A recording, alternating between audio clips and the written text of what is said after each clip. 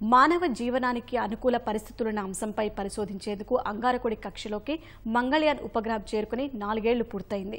సుదూర ఖగోళ ప్రయాణం చేసి అంగారకుడి కక్షలోకి చేరిన మంగళయాన్ ఉపగ్రహం ఇప్పటి వరకు వందలాదిగా ఛాయాచిత్రాలను తీసి మార్స్ అట్లాస్ రూపకల్పనను సాధ్యం చేసింది.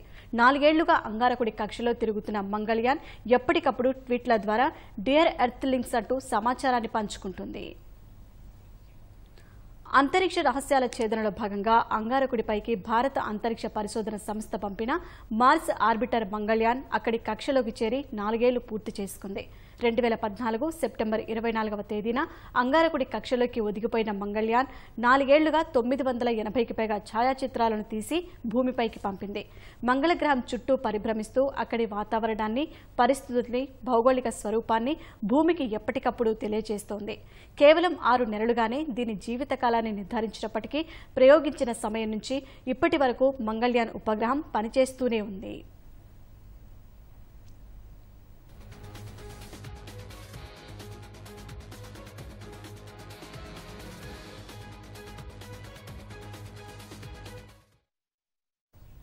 ఎరుపు గ్రహానికి నాలుగు వందల ఇరవై ఒక్క కిలోమీటర్ల ఎత్తులో ప్రభ్రమిస్తూ అక్కడి పరిస్థితుల్ని అత్యాధునిక సెన్సార్లు కెమెరాలతో ఎప్పటికప్పుడు భూమిపైన మిషన్ కంట్రోల్ కేంద్రానికి పంపుతోంది.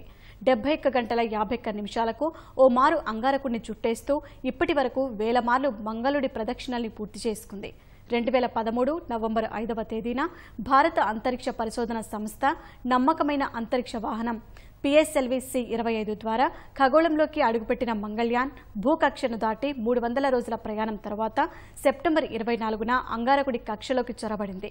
మార్స్ ఆర్బిటర్ ఉపగ్రహం పంపిన ఉపగ్రహ ఛాయాచిత్రాలు సెన్సార్ల సమాచారంతో ఇప్పటికే ఇస్రో పరిశోధనల్లో కీలకమైన మార్స్ అట్లాస్ను కూడా రూపొందించింది.